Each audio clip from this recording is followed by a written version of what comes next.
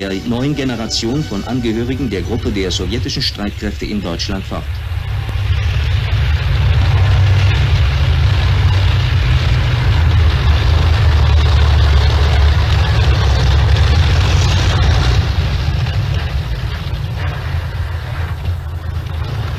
Im sozialistischen Wettbewerb zu Ehren des 110. Geburtstages Lenins kämpft die Kompanie Tschuburow um den besten Titel.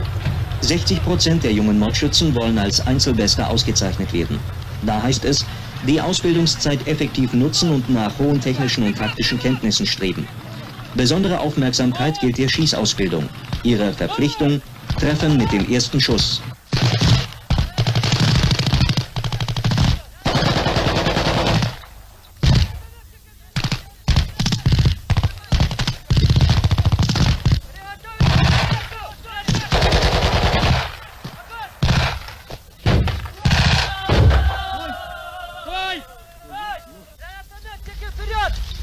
Gel kardeşim.